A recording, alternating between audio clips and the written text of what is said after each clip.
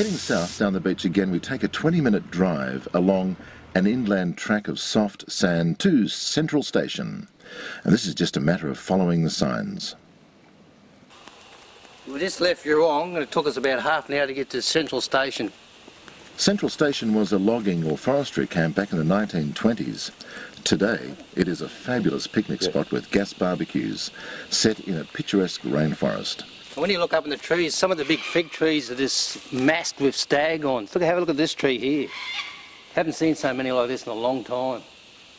Because we're in a national park, that's why they're here. There are great boardwalks throughout the beautiful rainforest surrounding Central Station. When you come to Central Station, there's so much to do here. There's big boardwalks going down towards the creek. You hear that little high-pitched noise? They're cicadas. Ear, ear, it makes your ears really buzz. But one on the boardwalk, if you go down further, there's a very rare king orchid, and there's king ferns. From Central Station, we head north to Lake McKenzie. This is Lake McKenzie, one of the biggest lakes on Fraser Island. And whereas most of the other lakes are fed by underground streams, this one's not. This is from rain drops that keep coming down here. Very popular spot as you can see along the beach here. All the backpackers are out having a good time.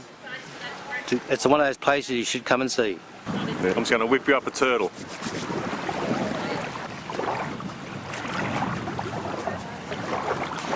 Yeah, how's that, eh?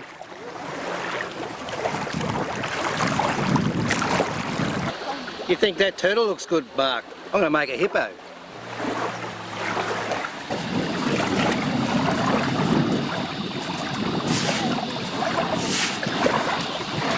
Look at that. Took me five minutes.